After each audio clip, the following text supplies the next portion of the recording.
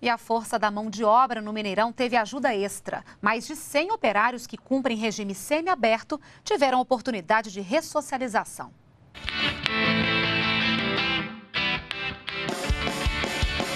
Francisco é uma das 116 pessoas que cumprem regime prisional e que trabalharam nas obras do Mineirão. Há seis anos e meio ele cumpre regime semiaberto, trabalha durante todo o dia e à noite faz faculdade. Desde o primeiro dia que eu vim para aqui, eu me considero que eu ganho bem, porque você ganha dinheiro para ajudar no sustento da sua casa. Isso faz uma diferença enorme, entendeu?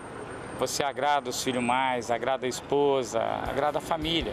Apaixonado por futebol, ele chegou a jogar no juvenil do Atlético Mineiro e fez questão de trabalhar nas obras do estádio.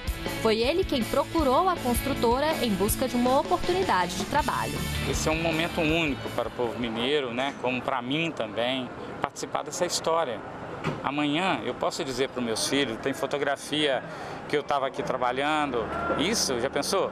Isso aqui é um patrimônio do povo mineiro.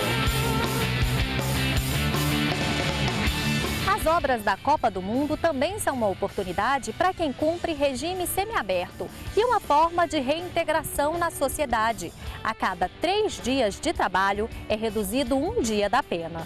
A gente vê é, pessoas, desses detentos que trabalharam com a gente, pessoas que vinham no Mineirão como torcedores, depois o acaso da vida levou-os a, a, a, ter que cumprir um regime prisional e depois vieram participar como trabalhadores, a gente vê a satisfação dessas pessoas. Né? Durante a execução da obra, a gente tinha um, um espaço reservado para que isso acontecesse, com aulas após o, o turno de obras, né, na parte da noite.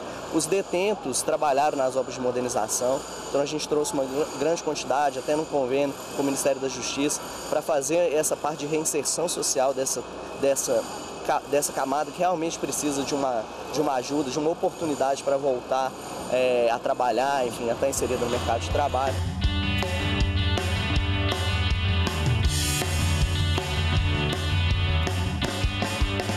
Além da expectativa da conquista da Copa do Mundo de Futebol, as obras do Mineirão se transformaram na construção também de um sonho, de uma nova vida.